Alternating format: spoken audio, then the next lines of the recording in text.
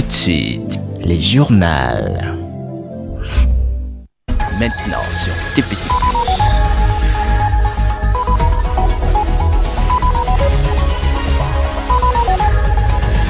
Place journal.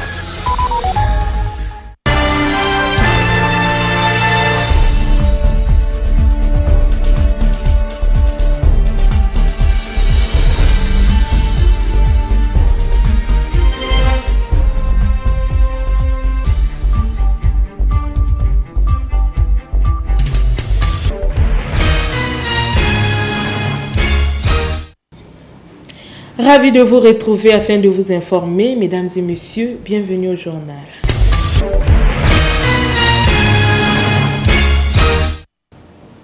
L'état d'avancement du projet communautaire relatif à l'aménagement des centres de santé intégrés du district sanitaire du deuxième arrondissement Vunvu, dans un partenariat signé entre l'OMS Congo et la mairie de Vunvu, a fait l'objet d'une cérémonie patronnée par euh, l'administrateur maire de Vunvu, lauréate Mberi Bini. C'était en présence des autorités politico-administratives ce lundi 27 septembre au CSI de Mvumvu, compte rendu Prince Azuka et Christian Ibwanga.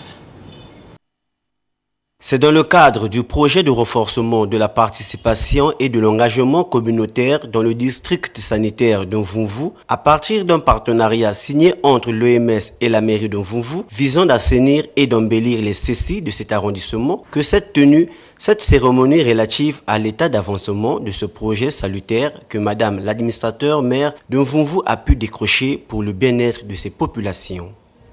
Lauréate Mbéré sous le mot de circonstance. En ce jour mémorable, de saluer la présence de Monsieur le représentant résident de l'OMS au Congo. Encore une fois en vous et de le remercier pour le partenariat entre l'OMS et l'arrondissement de sur le plan sanitaire et de l'assainissement. Ainsi, les populations de vous, par ma vous souhaitent la bienvenue et vous présentent nos sincères remerciements pour votre appui multiforme, tant financier que technique, qui nous a permis de réaliser les différentes formations des membres de mon cabinet, des membres des comités de santé et des agents communautaires de notre district sanitaire. L'achat du matériel abattoir et les résultats sont vraiment probants car de grands changements se sont déjà fait opérer dans le curage des caniveaux, de l'assainissement et de l'embellissement des CCI. En effet, la singularité de cette cérémonie n'est autre que la présentation de l'état d'avancement du projet d'appui, de l'engagement et de leur participation communautaire à travers nos différentes réalisations qui vous seront présentés de manière concrète, voire technique, par une visite guidée du médecin-chef du district sanitaire. S'en est suivi la visite guidée par le médecin-chef du district sanitaire numéro 2 Vunvu, le docteur Adjono Livelem, des œuvres déjà réalisées. Et pour terminer, le représentant de l'OMS au Congo a procédé à une remise des dons constitués des médicaments, dont entre autres réceptionnés par Madame l'administrateur maire de Vunvu, qui à son tour a remis ce précieux don acquis de droit. Le représentant de l'OMS au Congo n'a pas caché sa satisfaction. Je ne peux pas commencer sans euh, d'abord remercier euh, profondément euh, Madame l'administrateur maire de la commune 2, qui m'épate toujours par son, dynamisme et la passion qu'elle a pour la chose qui concerne ces communautés. Et c'est un grand plaisir de venir en immersion dans cette commune pour voir le foisonnement des activités et notamment celles liées à, la gestion des, des, questions de santé. Euh, C'est d'ailleurs à travers ce dynamisme que nous avons remarqué que nous avons pensé que nous pouvions l'accompagner pour euh, euh, l'aider dans sa tâche qui est maintenant, d'après les attributions nouvelles, d'assurer la gestion des questions de soins de santé primaire. Euh, donc l'OMS ne doit pas simplement être entendu et vu à la télé ou être dans les bureaux, lire les discours, écrire les livres. Notre directeur général pense que, le docteur Tedros pense que nous avons aussi la responsabilité d'être sur le terrain pour soutenir les communautés et contribuer directement à l'amélioration de l'état de santé de, ces populations-là. L'un des bénéficiaires a manifesté sa gratitude en ces termes. En réalité, nous sommes vraiment réjouis du fait que euh, l'OMS euh, venait donc de signer un partenariat avec euh, la mairie d'Anvongo, projet relatif aux problèmes sanitaires et surtout au problème de l'assainissement dans les quartiers de Mvungu, les 11 quartiers de Bien. Et pour ce faire, il fallait donc une formation. Il fallait d'abord former les, les membres du cabinet euh, que nous sommes. Ensuite, on est allé jusqu'aux agents sanitaires et surtout euh, aussi aux communautés, euh, aux agents communautaires. Parce que ce projet ne vise pas simplement l'élite, mais plutôt ce projet va jusque dans les collectivités locales pour en savoir un peu plus de ce qui se passe dans leur vie. Une photo de famille a immortalisé cet événement sanitaire. Dans ce quinquennat de Denis Sassou Nguesso, l'agriculture est placée comme un secteur prioritaire afin que le Congolais arrive à consommer congolais. Seulement voilà, notre sol est naturellement fertile, même dans nos parcelles, l'on peut cultiver des semences vivrières et manger bio. Mais nous sommes paresseux. Le Congo contraste entre richesse du sol et paresse des citoyens est l'objet de ce reportage de Tiv Tivongo. Véritable paradoxe.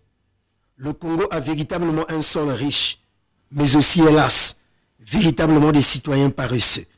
Au fond, notre sol n'est pas seulement riche en forêt dans nos villages, mais il est aussi bien riche qu'on ne le pense dans nos différentes parcelles en pleine cité urbaine, ici à Pointe-Noire. Même dans un pot de fleurs, on peut pratiquer la bioagriculture. C'est une expérience au hasard nous a laissé entendre la cultivatrice en herbe, mais qui a donné ses fruits sans engrais chimiques ni pesticides. Elle ne s'est pas arrêtée là.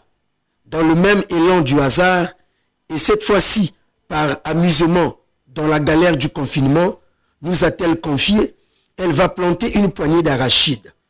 Nous sommes bizarrement à l'heure de la récolte et même en dépassement du calendrier agricole. L'amateurisme a tout de même payé. Oui, c'est la première fois en tout cas, hein. c'est une première expérience. Voilà. C'était juste un peu pour s'amuser. C'était surtout parce qu'on était à la maison avec le confinement. On a eu un peu de temps, on s'est dit bon, pourquoi pas? Pourquoi pas, pourquoi pas? Et euh, c'est vrai qu'on a eu un peu de peine à arroser tout le temps parce qu'on n'est pas professionnel. Un peu de soucis d'arrosage. C'était aussi la saison sèche. Mais il faut arroser, en tout cas matin, soir. Nous, on ne l'a pas vraiment fait. Mais tout de même, on a eu nos arachides. C'est le résultat, non pas du hasard ou de l'amusement, mais de la richesse ou de la fertilité du sol congolais le sol de nos parcelles. Et la terre aussi, on ne sait pas trop occuper de la terre. Il faut comprendre qu'elle est riche parce qu'on n'a rien fait, hein. pas d'engrais, rien du tout, rien du tout. Voilà mine de rien, la moisson. D'une poignée de main d'arachide plantée, l'on mangera pendant un mois peut-être la pâte d'arachide de son jardin potager fait maison. Ça n'est même pas un verre. Hein. Toute cette partie, c'était juste euh, je sais pas, une poignée d'arachides que j'ai dû mettre euh, ici. Voilà, et regardez ce que j'ai aujourd'hui. Comme j'aime bien aussi les arachides, vraiment je vais me régaler. Ce n'est pas tout. Dans sa débrouillardise teintée de hasard, elle avait aussi cultivé une sorte de légume bien prisé chez nous, une citronnelle, de la tomate déjà récoltée et de la ciboule. Parce qu'il faut euh, retirer, déficher et replanter. Voilà. Je n'ai pas vraiment le temps, j'arrose euh, pas trop souvent. Vous avez quand même quelques notions. Oui, oui, oui, oui, oui. oui. Mais en toute chose, il faut, il faut juste prendre soin. Comme une personne, il faut l'arroser, elle doit manger le matin, le soir. Voilà, et puis nettoyer tout autour. On ne peut pas rester dans un environnement sale et puis euh, être en bonne santé. C'est ça. On, les appelle les, les. Vraiment en français, je sais pas, mais voilà. Facile à pousser, on n'a pas besoin de grand chose pour, euh, pour en avoir. Là, vous pouvez jeter même juste cette bouture là, vous la jetez même, mais tout de suite, euh, elle prend vie. Voilà. Là, ici, j'ai mes arachides, j'ai ce légume-là, les matembele, et j'ai la citronnelle. J'avais aussi essayé avec la tomate, mais j'en ai aussi cueilli. hein. J'ai fait la cuisine aussi avec la. Et pourtant, cette initiative salutaire pour nos ménages peut se répandre dans la plupart des ménages congolais en ce quinquennat de la révolution agricole. Autant faire se peut, en profitant au maximum de la richesse de notre sol, pour stopper tout d'abord la spéculation des produits agricoles locaux sur le marché, puis manger bio à travers notre propre bioagriculture domestique.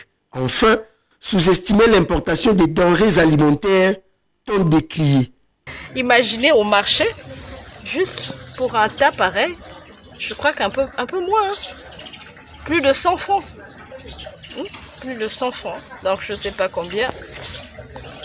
Je vais en avoir ici. Je vais encore replanter, hein. Ça vous donne le courage, Oui, oui, oui, l'espérance. oui. Même si je n'ai pas vraiment de temps, mais en toute chose, il faut euh, un peu de discipline et puis de volonté, hein.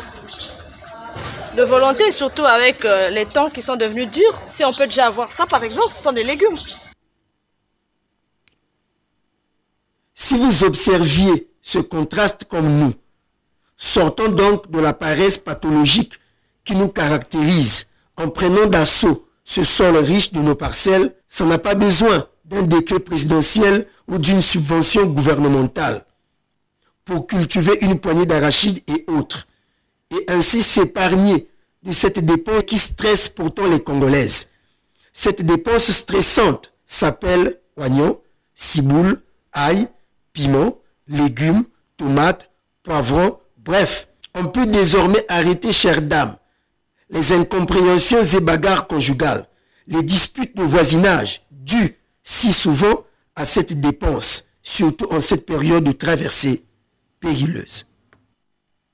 Poursuivons ce journal. En plein 21e siècle, il y a des pays qu'on dit être développés ou en voie de développement. Et l'on remarque que dans la plupart de ces pays, l'on parle plus que l'on ne travaille, que des beaux discours. Le développement des actes et non des paroles, c'est la thématique de ce reportage de Chiv Chivungo.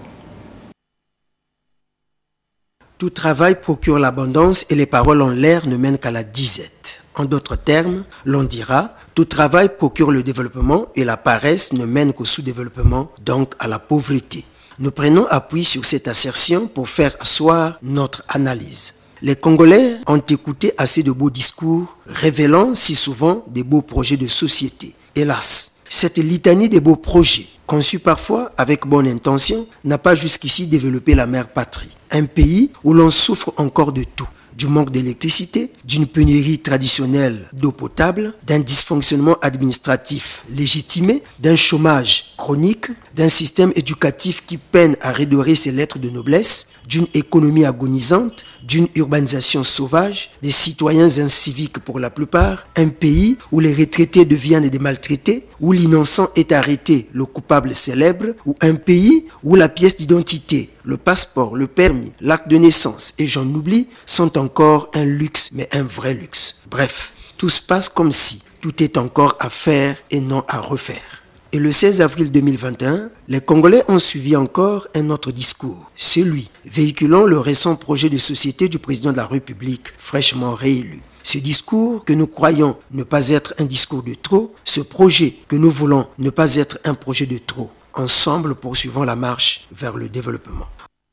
Comme préalable, il nous faut améliorer le climat des affaires, simplifier et alléger la fiscalité, améliorer l'environnement juridique et judiciaire des entreprises, développer des mécanismes d'appui financier et non financier aux PME congolaises pour un meilleur accès au crédit, sensibiliser le gouvernement et les administrations sur les réalités du secteur privé, promouvoir l'entrepreneuriat, faire migrer les acteurs du secteur informel, véritable vivier d'emploi, vers le secteur formel.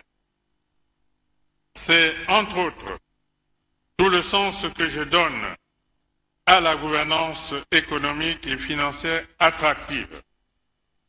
Encore que jusqu'ici, la marche qu'on avait semble-t-il commencé ensemble. Les uns jouissent du bien-être pourtant, mais les autres vivent le calvaire, le mal-être, coincés entre l'insécurité économique et l'insécurité de leur propre vie. Dans ce discours, il ressort des bonnes idées de développement, comme c'est la coutume des discours de nos chefs d'État.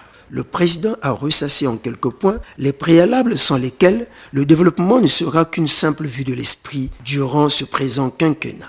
Justement, si le président cette fois-ci, sur la base de ces sept approches de solutions aux mots qui minent la République, bien diagnostiquées d'ailleurs, pose des actes de développement, donc travaille à la mise en œuvre de ces préalables, ces cinq années finiront, le peuple seul, sans être incité par qui que ce soit et par quoi que ce soit, le réclamera le prochain quinquennat très sûrement, sans autre forme procès.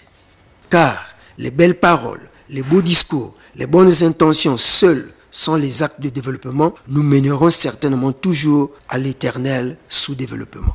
Le Premier ministre et son équipe gouvernementale sont attendus aux actes de développement et non aux slogans habituels de sous-développement qui n'ont pas fait avancer le pays jusqu'ici. Des actes de développement et non des bonnes paroles de développement. Une nation est appelée à se construire par ses fils et filles, construire sa culture, son éducation, ses infrastructures et autres. Mais tout se passe comme si la volonté politique semble freiner les choses. Construire la nation par, par volonté politique ou par volonté générale, Chief Chivongo nous en parle. La volonté politique un concept si souvent usité par les acteurs politiques et bien plus par les institutions financières, par les organisations non gouvernementales et les organisations de la société civile lorsqu'il s'agit de qualifier la bonne ou la mauvaise foi des pouvoirs publics. Et puisque pour la plupart des cas, les politiques sont toujours en porte-à-faux avec leur propre discours ou projet de société, c'est-à-dire ne font presque toujours pas ce qu'ils disent. Pour qualifier cette mauvaise foi coupable et digne d'emprisonnement, d'abus de confiance envers le peuple ou d'escroquerie politique, une des infractions pénales ou, si vous voulez, d'incompétence. À l'effet de virer cet incompétent politique purement et simplement, l'on a trouvé un concept pour atténuer le mal commis par le politicien véreux à travers un qualificatif aux allures démagogiques, manque ou absence de volonté politique, hélas. Un qualificatif saupoudré dont l'objectif avoué est de caresser l'autorité politique dans le sens du poil. Et c'est le peuple qui en pâtit toujours. Si d'après le dictionnaire, la volonté veut dire faculté de vouloir, de se déterminer à quelque chose ou ardeur pour les choses qu'on entreprend, l'on comprend donc aisément que la quasi-totalité de nos hommes politiques n'ont jamais eu la faculté de vouloir du bien de leur pays, ne se sont jamais déterminés à construire leur pays et hélas, n'ont jamais manifesté d'ardeur concernant la politique à entreprendre en vue d'établir les process de développement d'une république une et indivisible. Comment avoir longtemps parlé de volonté politique lorsqu'on sait qu'à la base, il y a une volonté générale exprimée par le souverain primaire, celui à qui appartient le pouvoir et qui mandate simplement des hommes, appelés autorités, politiciens, décideurs, pouvoir public, hommes d'État, bref, président, ministre, préfet, maire et j'en oublie. Pour accomplir, s'il vous plaît, sa volonté, donc la volonté générale, et non la volonté politique qui n'est autre que la volonté des hommes mandatés Voilà qui les emmène beaucoup plus à penser à eux-mêmes, à leur famille, leurs camarades politiques, leur ethnie et même à leur religion, plus qu'à l'intérêt communautaire, c'est-à-dire l'intérêt général, l'intérêt national. Il est temps de changer ce paradigme de volonté politique en volonté générale, puisque la volonté générale est l'accord de toutes les volontés dans un but commun. Et pour faire complet, il faut parler en termes de volonté générale de faire. Faire, F-E-R.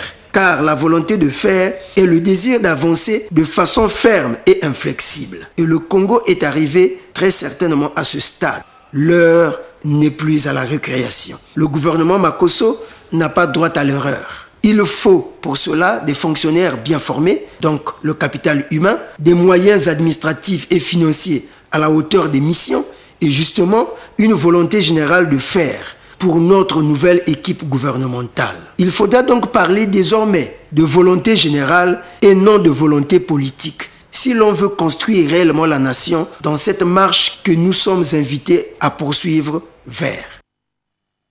Rien à voir avec ce qui précède. Comme chaque métier, le journaliste ou le professionnel de l'information, regardé en chien défaillance par les politiques, parfois incompris dans son rôle par le citoyen lambda, occupe pourtant une place de choix dans la société.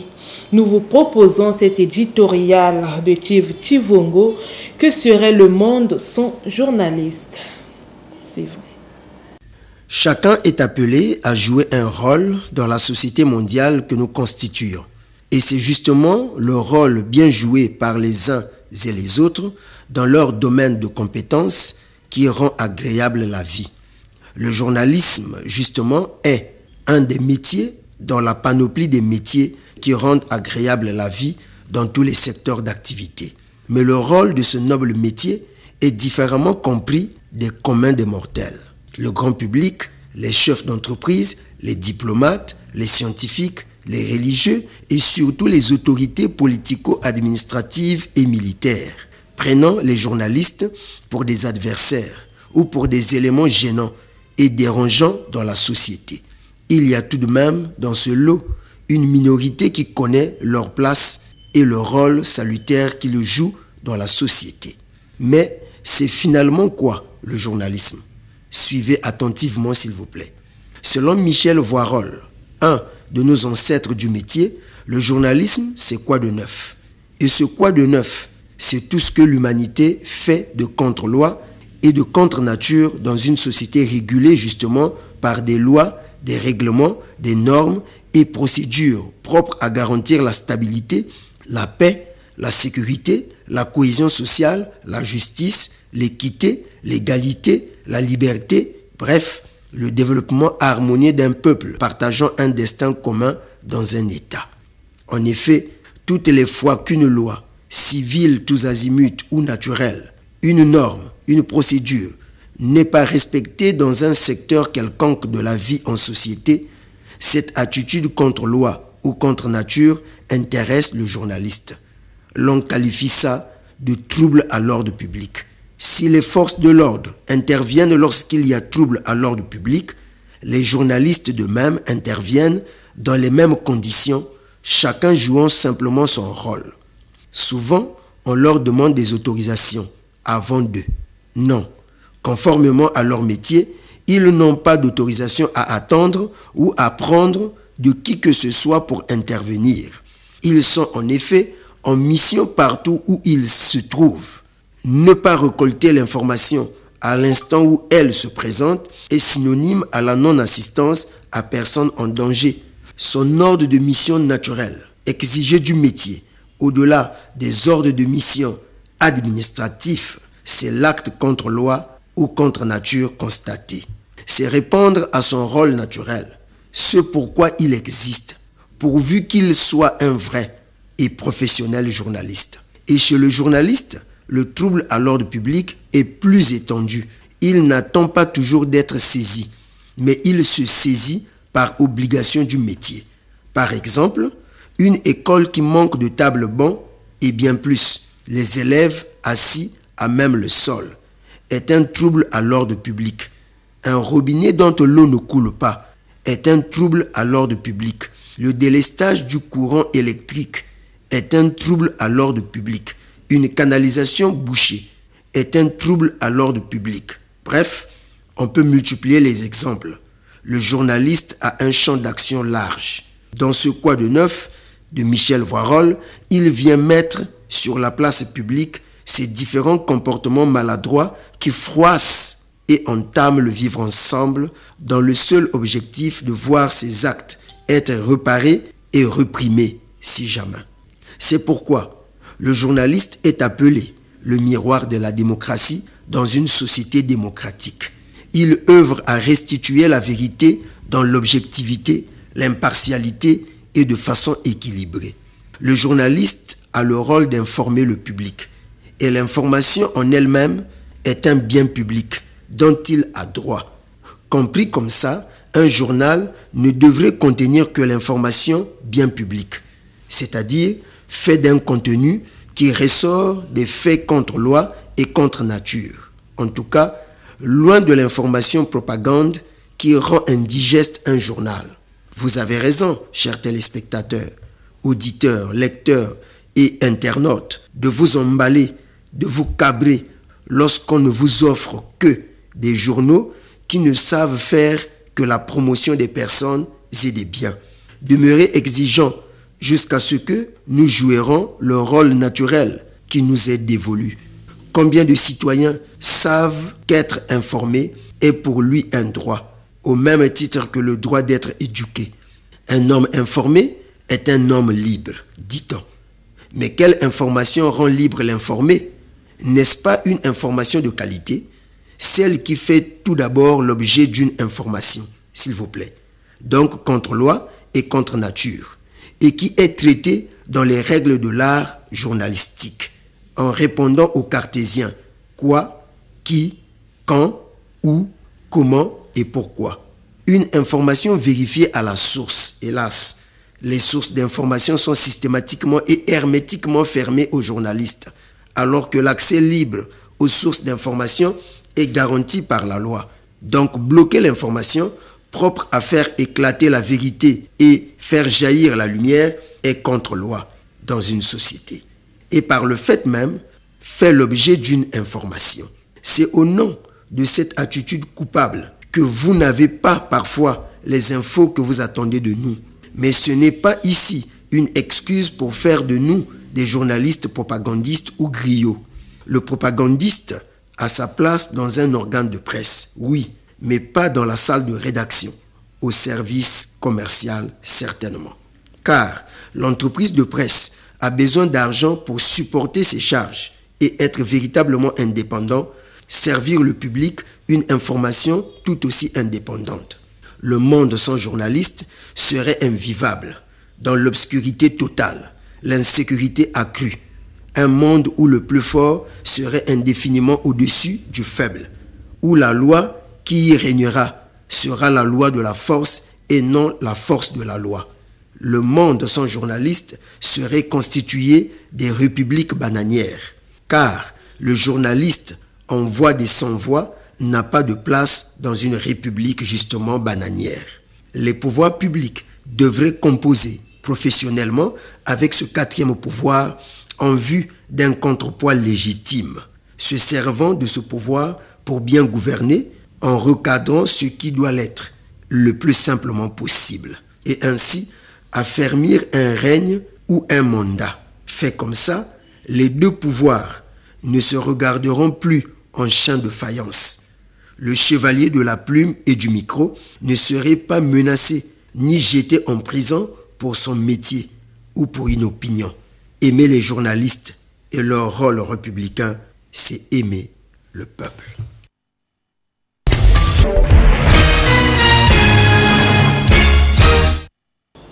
Rendons-nous hors de nos frontières ou au sud de Libreville, dans le quartier Akebe frontière. La plupart de ces maisons ont été construites illégalement sans titre foncier. Cette situation complique chaque jour la vie des habitants. Ajoutez à cela le fait que l'électricité et l'eau sont rares dans cette zone. Africa News pour ce reportage. Ici, au sud de Libreville, dans le quartier à Québec Frontière, la plupart des maisons ont été construites illégalement sans titre foncier. Une situation qui complique chaque jour un peu plus la vie des habitants et à cela s'ajoute le fait que dans cette zone, l'électricité et l'eau sont rares. Et les choses ne se sont pas améliorées depuis qu'Alain s'est installé ici il y a 40 ans toutes les villes ne sont pas viabilisées, donc il ne faut pas vraiment se le mentir. Donc euh, il n'y a pas vraiment, c'est difficile pour les populations qui vivent, surtout dans des zones un peu euh, éloignées, difficile si euh, ils sont très loin de, l'endroit de l'adduction d'eau. Voilà, c'est compliqué.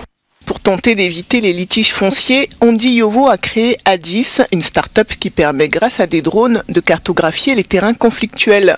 Pour Noël, obtenir des informations pour sa parcelle l'aidera à éviter d'éventuels conflits avec ses voisins.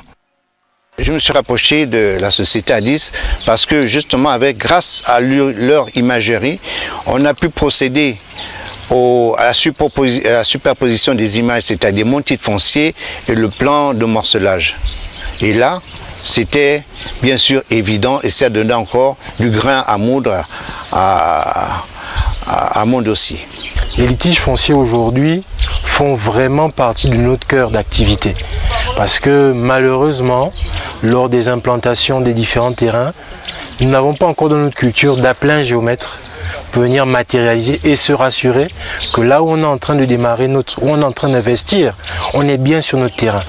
Et très souvent, vous avez comme des zones, que ce soit des quartiers sous intérêt ou même des zones comme Angonje, où elles se développent assez vite et sont des problèmes qui sont très fréquents.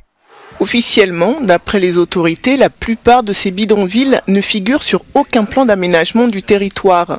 Et les habitants de ces quartiers savent qu'ils pourraient être poussés à partir du jour au lendemain. Pour cet expert, la solution serait de construire d'autres quartiers plus résidentiels pour reloger ces populations. Un quartier comme Akebe peut être réorganisé, peut être modifié. Mais pour le faire, il faut absolument que les autorités, que l'État construisent d'autres cités, construisent d'autres villes. Et ces villes-là construites avec le minimum de commodité, avec euh, d'une manière moderne, je voulais dire, mais on va reloger les occupants des villes, des cités ou des quartiers anarchiques aujourd'hui. On reloge dans ces endroits-là. Malgré les promesses des autorités, la vie dans ces bidonvilles n'a pas évolué.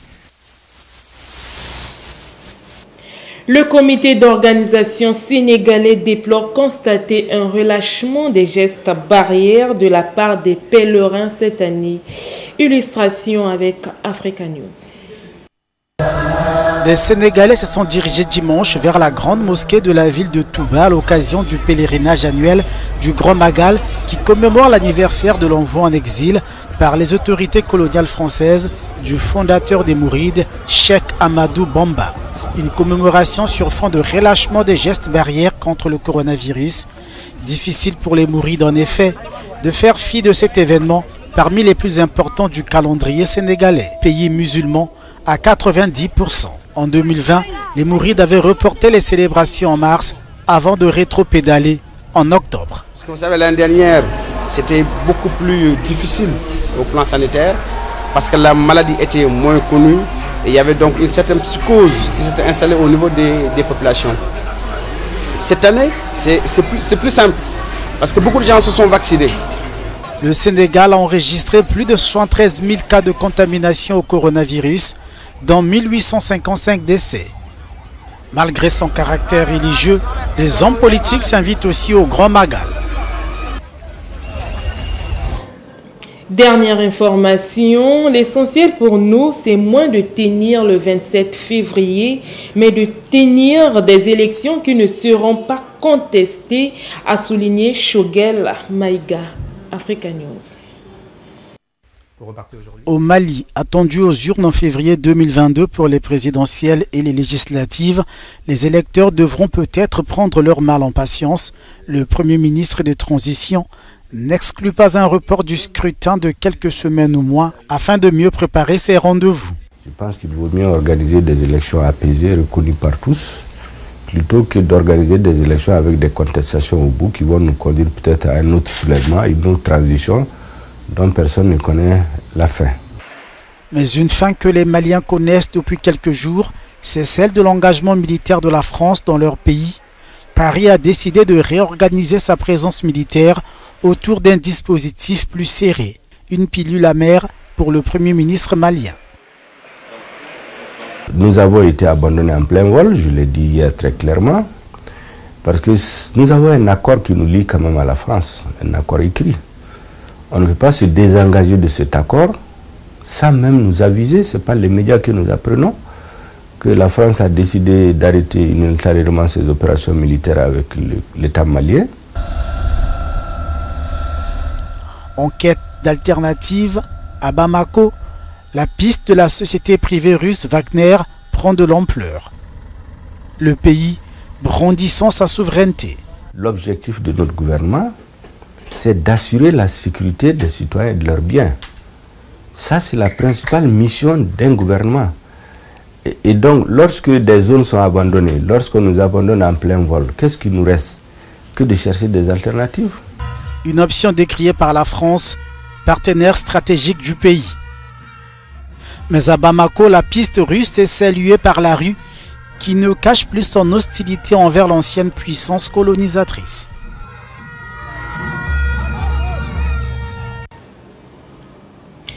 C'est donc la fin de ce journal qui a été réalisé par l'ensemble de la rédaction de TPT+. Merci à vous de l'avoir suivi. Au revoir.